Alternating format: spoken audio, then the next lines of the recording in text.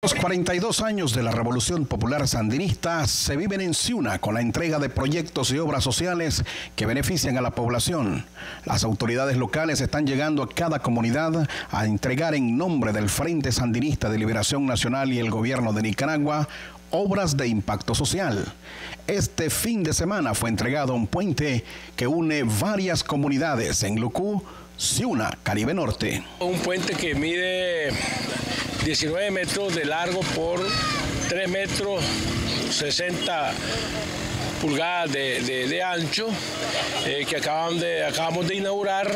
Esto es gracias a Dios y gracias que estamos en paz y gracias que tenemos un buen gobierno que preside el comandante Daniel, la compañía Rosario.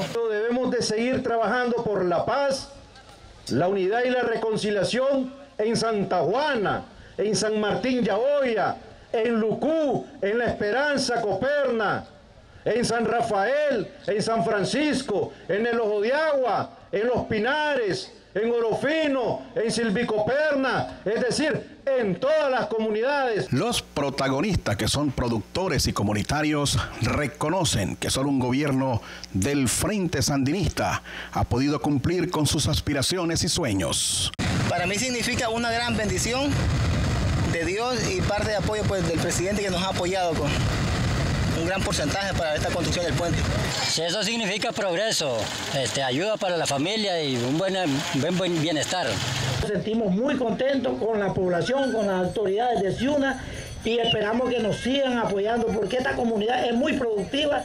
Ciuna celebra el 42 aniversario de la Revolución Popular Sandinista, entregando carreteras, puentes, calles para el pueblo, proyectos educativos de salud que vienen a mejorar las condiciones de la población caribeña. En Crónica TN8, José Garth.